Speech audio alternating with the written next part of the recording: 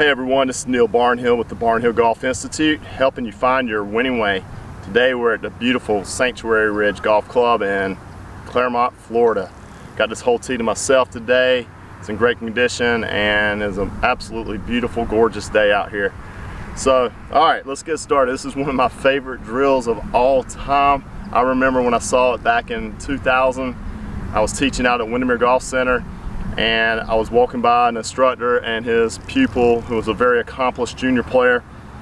And I remember going what in the world is going on here? I have never in all my life seen anything like this as far as like the drill. I, I did not understand it.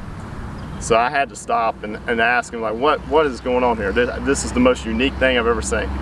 Because all that was happening the junior player was just swinging their hands and arms. There was nothing going on with the body and they were just swinging their arms and hands. And he simply told me, we're working on the function of what do the arms and hands and wrists do in the golf swing, and we're keeping everything else out of it. We're just hitting a small shot, you know, 50 yards. I think, think the junior player was hitting a, a gap wedge or sand wedge, and not swinging hard, very slow rhythm, and just working on the position of where the arms were halfway back and where the position was halfway through. So it made sense to me and from that day on I actually worked with my pro and we worked on this drill a lot and I remember hitting a gap wedge and wearing the center of the club face out. I had no grooves, I put a dent in it and I, I must have hit five, 6,000 balls doing this drill and it really kept me quiet because I came from the old school of lifting my left foot up on the backswing, had a lot of leg movement, so this drill really helped me. And I've used it over the years in my instruction and it's, man, it's been a great tool in the bag for training aids and I, I really I hadn't seen anything out on videos on, on, on, instruction about how to do this drill so I wanted to take the time today to show you how to do it. Okay so in my hitting area I've got a club down for alignment and I also got one for my club path on the backswing and through swing. Again it's set up how I am in address I'm gonna have the ball placement in the middle. I have a pitching wedge. I'm gonna hit this about half speed and the way I describe it to my students when we first do it, we don't want to move anything. Think of yourself as like a swing set. And let me describe that before I get in here.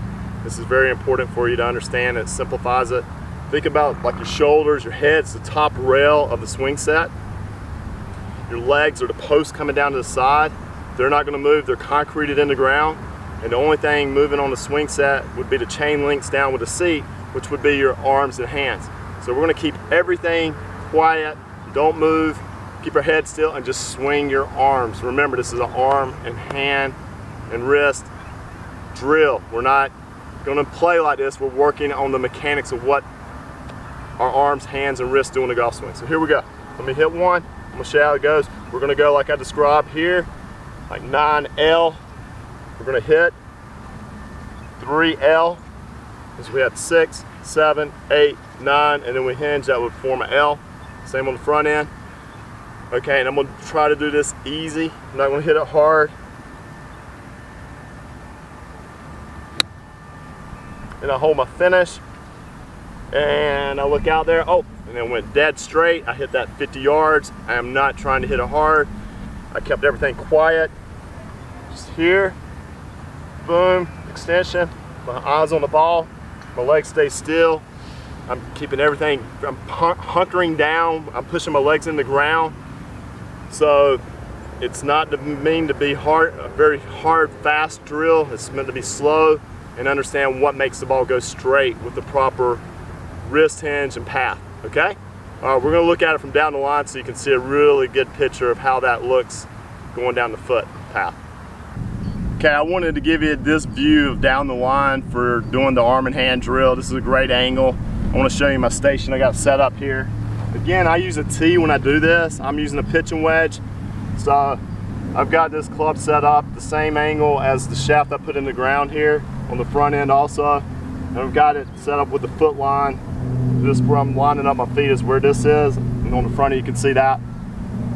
All right, let me show you the position. This is what I worked on for months. I've three or four months I did this drill every day, like four or 500 balls easily. So get set up here. Ball position in the middle. One thing I'm looking for here when I'm looking out there, when I'm doing it, I want my left arm to be down my foot line with the toe of this club pointing up.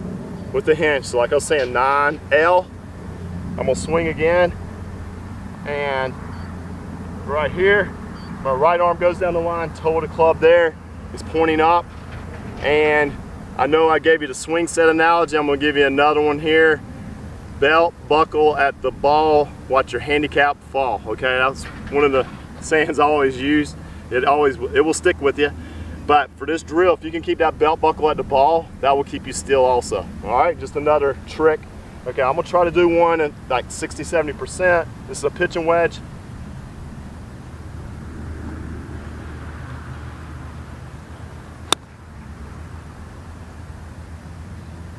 And that one went exactly straight.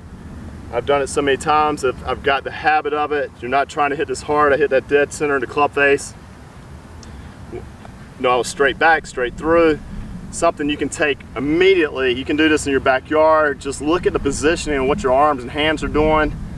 It's one of the best drills I've ever done just to isolate the movement so it simplifies it. At least you can see, hey, my arms and hands are doing this right. And then after you get an idea of that doing it, then you can add the body to it. You know, the golf swing can be complicated if you're trying to fix something and you're doing all this movement. It's easier to isolate the movements. And that's why I'm a big fan and I love this drill. I've been doing it almost 20 years now. So it's uh, definitely been one of the, my favorite drills of all time. So check out some other great videos I've made here in the last month, month and a half too on barnhillgolf.com.